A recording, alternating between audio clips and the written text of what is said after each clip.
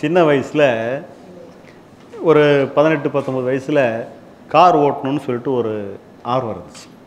இருக்குமா இருக்காதா எல்லாருக்கும்? ஜென்ரலாக அப்படி தானே சின்ன வயசில் பசங்களுக்கு என்ன மாதிரி உணவு இருக்கும்? கார் ஓட்டணுங்கிற ஃபீலிங் தான் இருக்கும். அப்போ நானும் கார் ஓட்டலான்னு ஆசைப்பட்டேன். கார் ஓட்டலான்னு ஆசைப்பட்டால் அதே நேரம் மனசில் என்ன தோணும்?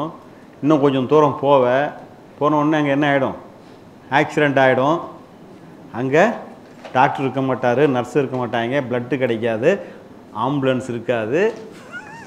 இன்னும் என்னென்னவோ அது பாட்டுக்கு கட்ட கட்ட கட்ட கட்ட கட்ட கட்டன்னு ஓடி போய் எங்கேயே நிற்கும் இங்கே வண்டி என்ன நம்ம வண்டி ஸ்டார்ட் பண்ணல. கீயை தான் தொட்டோம். மனசு எங்கே போயிடுச்சு? கிட்டு கிட்டு கிட்டுன்னு போய் டாக்டர் நர்ஸு ஆஸ்பத்திரி பிளட்டு ஆம்புலன்ஸ் வரணும் போய் அங்கே இதுக்கே போயிடுச்சு. இதுக்கேன்னு வச்சுக்கங்க? எட்டுக்கே போயிடுச்சு. வச்சுக்குவோம். எது போய் அதை என்ன பண்ண முடியல? ஆஃப் பண்ண முடியல. ரைட்டா இது வேறு யாருக்கும் இல்லை எனக்கே தான். ரைட்டா இப்படியே நம்ம வந்து கிட்டத்தட்ட ஒரு பதினெட்டு இருபது வருஷமாக இந்த போராட்டம் நீடிக்குது. மனசுக்கு என்னென்ன பயிற்சி முயற்சிகள் கொடுக்குதோ அத்தனை முயற்சியும் நம்ம என்ன பண்ணி பார்க்குறோம்? செய்து பார்க்குறோம். என்னன்னு சொல்கிறாங்க ஆட்டோ சஜஷன் பண்ணு. நான் யாரையும் குறை சொல்லலை. எப்படி ஆட்டோ சஜஷன்னா தெரியுமா? நான் நல்லபடியாக கார் ஓட்டுவேன். நான் நல்லபடியாக கார் ஓட்டுவேன். நான் நல்லபடியாக கார் ஓட்டுவேன். அப்படின்னு என்ன சொல்லிக்கிறது? என்னுடைய மனதிற்கு நானே என்ன பண்ணிக்கிறது? வலுவேற்றி கொள்ளுதல் அப்படின்னு சொல்லி பேர் ஆட்டோ சஜஷன் சொல்லி. சொல்கிறப்போலாம் மனசு அப்படியே கேட்டுக்குது. கீயை தொட்டா என்ன ஆகுது? அதை நீ பாடுக்கு போய் டாக்டர் நர்ஸ் ஆஸ்பத்திரி கிளாட்டு ஆம்புலன்ஸ் சொல்லும் போய் அது அங்கேயே போய் தான் நிற்கிது ரைட்டா பாசிட்டிவாக எண்ணத்தை விதைச்சி பார்த்தாச்சு.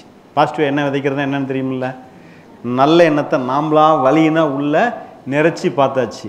அப்பயும் அது என்ன ஆகுது எதுனாலும் செயல்னு அங்கே கீயை தொட்டால் என்ன ஆகுது நம்ம இவ்வளோ காலம் சேர்த்தன அத்தனை எஃபோர்ட் என்ன ஆகிடுது எல்லாம் ஃபியூஸு சாமி கும்பிட்டு பார்த்தாச்சு. எல்லாம் பண்ணி பார்த்தாச்சு. எதை பண்ணி என்ன பண்ண முடியல?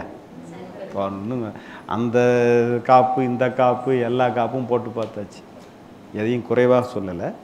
நீங்கள் புரிஞ்சுக்கிறதுக்கு ப்ராக்டிக்கலாக நடக்கிறத நம்ம சொல்கிறேன் எதுவுமே நமக்கு என்ன பண்ணலைங்க? உதவி செய்யவில்லை. மனதிற்காக கொடுக்கப்பட்ட எந்த பயிற்சியும் எனக்கு என்ன பண்ணல? ஹெல்ப் பண்ணல. அப்புறம்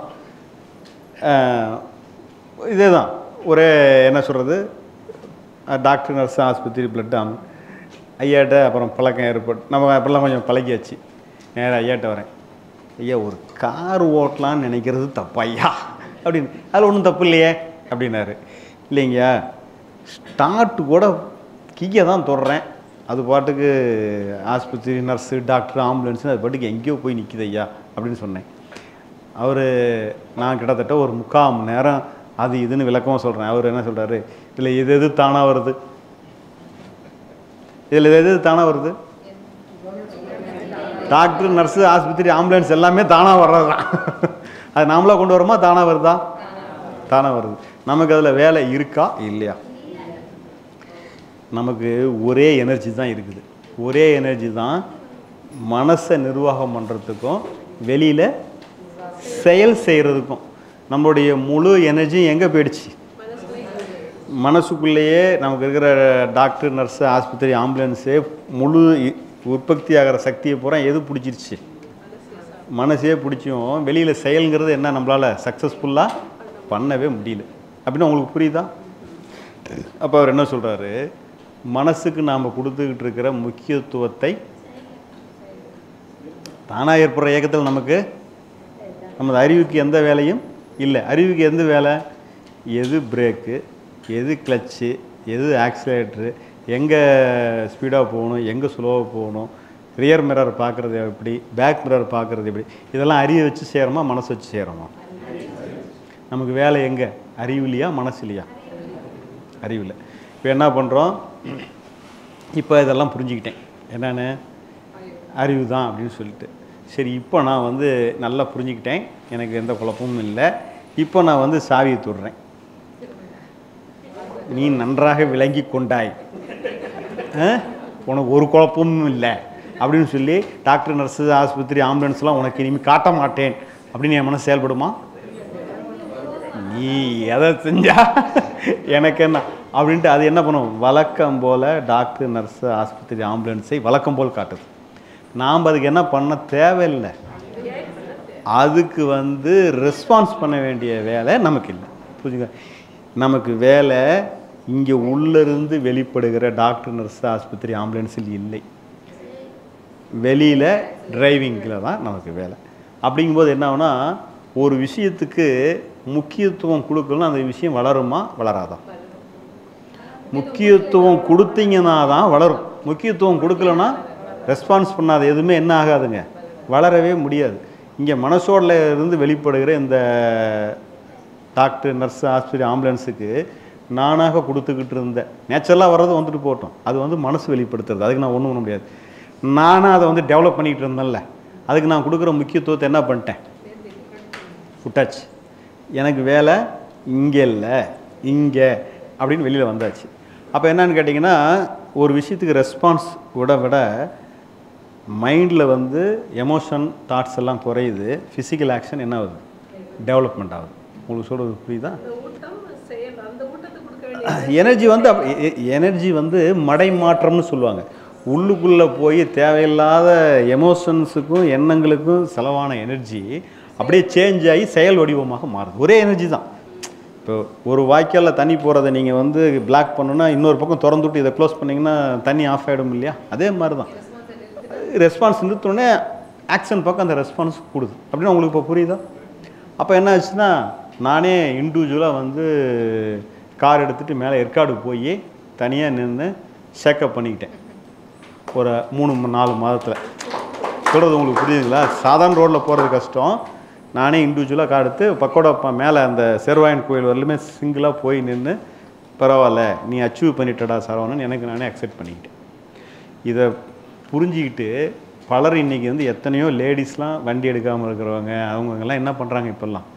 நல்லபடியாக வண்டி எடுத்து கார் ஓட்டுறாங்க வண்டி ஓட்டுறாங்க. எல்லோரும் ஏதோ யாராவது யாரோ ஒருத்தருக்கு இந்த மனசு இந்த மாதிரி எதிர்மறை நெகட்டிவ்லாம் எத்தனையோ பேருக்கு பிரச்சனை இருக்கு இல்லையா? அவங்களாம் இதை புரிஞ்சுக்கிட்டு நல்லபடியாக நீங்களும் கூட யாராவது உங்களுக்கு அந்த தயக்கங்கள் இருந்தால் அதெல்லாம் விட்டுட்டு நீங்கள் என்ன பண்ணலாம்?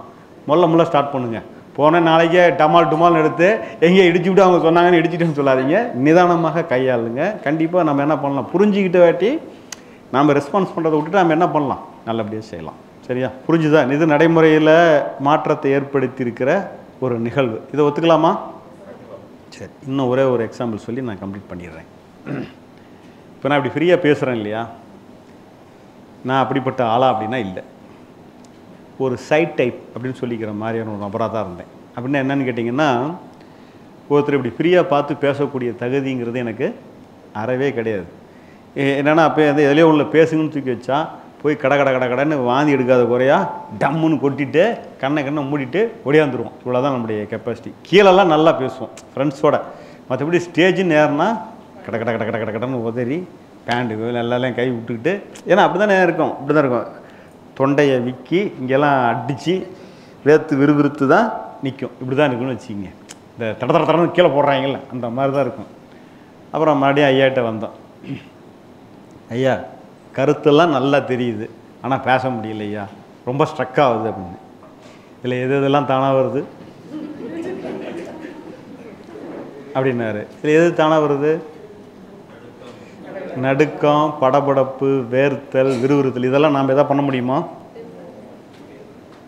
அதெல்லாம் நம்ம ஒன்றுமே பண்ண முடியாது. அதெல்லாம் நமக்கு அதில் நமக்கு எந்த ஜோலியுமே இல்லை. என்ன கருத்து சொல்லணுமோ அதை சொல்கிறதுல மட்டும்தான் நமக்கு ஒர்க்கு மற்றபடி மீதிலையும் நமக்கு எந்த வேலையும் இல்லை. புரிஞ்சுதுங்களா?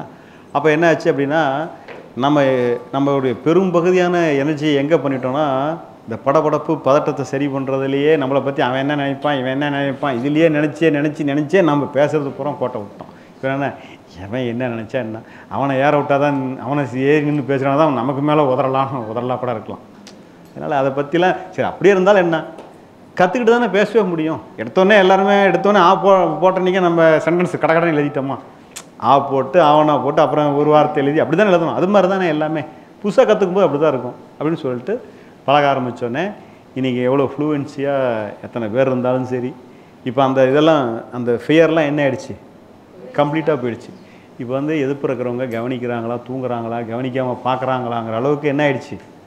ஒரு விஷயத்தை கவனமாக பார்க்கக்கூடிய கெப்பாசிட்டி ஆட்டோமேட்டிக்காக கூடுது அதாவது ஒரு ஷார்ப்னஸ்ன்றது நேச்சரலாக இன்க்ரீஸ் ஆகுது. சொல்கிறது உங்களுக்கு புரியுதுங்களா? அதனால் என்னென்னா இப்போ இப்படி புரிஞ்சுக்கிட்டு தான் உள்ளே எவ்வளோ நெகட்டிவ் வந்தால் கூட நம்ம வெளியே பாசிட்டிவாக செயல் செய்ய முடியுமா? முடியாதா? இப்போ எனக்கு என்ன வந்துச்சு? வந்தது பூரா நெகட்டிவ் தானே? ஆஸ்பத்திரி நர்ஸு டாக்டர் பிளட்டு ஆம்புலன்ஸ் எல்லாம் நல்லதா? அப்படியே இருந்தாலும் நம்ம அதை தாண்டி நல்லபடியாக கார் டிரைவ் பண்ண முடிஞ்சுதா? முடியலையா? அது அதனால் என்ன அதிலிருந்து நம்ம என்ன சொல்ல வரோம்னா நமக்கு எவ்வளவு தான் நெகட்டிவாக இருந்தாலும் சரி எவ்வளவு தான் பேடான ஃபீலிங்ஸாக இருந்தாலும் சரி எமோஷ்னலாக இருந்தாலும் சரி அதுக்கு நாம் ரெஸ்பான்ஸ் பண்ணுறதை விட்டுட்டு என்ன அதுக்கு சரியான செயல் செய்யணுமோ அதில் நாம் கவனம் செலுத்தணுமா உள்ளே செலுத்திக்கிட்டு இருக்கணுமோ? உள்ளே செலுத்தி செலுத்தி வீணாக போனது போதும். விட்டுட்டு வெளியில் நல்லபடியாக நம்ம வேலை செய்யலாம். சரியா? ஸ்ரீ பகவத்தையா அவர்களின் மூன்று நாள் ஞான முகாம் மே மாதத்தில் நடைபெற உள்ளது. நாள் பதினேழு ஐந்து ரெண்டாயிரத்தி இருபத்தி நாலு வெள்ளிக்கிழமை காலை எட்டு மணி முதல் பத்தொம்போது ஐந்து ரெண்டாயிரத்தி இருபத்தி நாலு ஞாயிற்றுக்கிழமை மதியம் மூன்று மணி வரை நடைபெறுகிறது. இந்த வகுப்பில் அகம் புறம் என்றால் என்ன? மனம் புத்தி என்றால் என்ன? ஆன்மீகம் கர்மா தியானம் ஞானம் முக்தி என ஒரு மனிதன் மகிழ்ச்சியாக வாழ தேவையான அனைத்து விஷயங்களும் சொல்லித்தரப்படும். நீங்கள் தெரிந்து கொள்ளலாம். இந்த வகுப்பில் கலந்து கொள்ள முன்பதிவு அவசியம். ஆன்லைனில் பதிவு செய்ய விரும்பினால் W W W dot Sri Bhagavat dot காமில் பதிவு செய்து கொள்ளுங்கள். ஆன்லைனில் தெரியாதவங்க தொலைபேசி எண்ணில் உங்களுடைய வருகையை பதிவு செய்து கொள்ளுங்கள். அதற்கான நம்பர் ஒன்பது ஒன்பது நான்கு இரண்டு இரண்டு ஒன்று ஒன்பது ஜீரோ ஆறு ஐந்து. இந்த நம்பருக்கு தொடர்பு கொண்டு உங்கள் வருகையை முன்பதிவு செய்து கொள்ளுங்கள்.